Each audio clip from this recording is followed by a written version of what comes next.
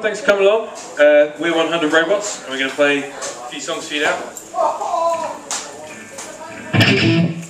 This first song is about the, uh, the financial crisis. It's called "It's All for Sale.